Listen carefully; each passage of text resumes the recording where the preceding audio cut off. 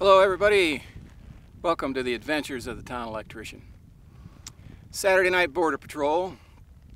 Uh, I'm running about 100 miles tonight along the border here. Uh, so that's 450 now for the past three nights, Thursday, Friday, and tonight being Saturday night. So let me report into you, we're all safe and secure here on the Mexican border.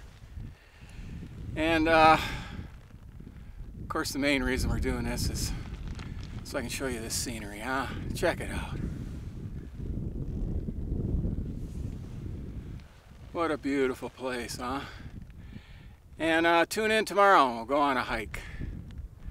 All right, everybody, thanks for joining me. From border to border, adios.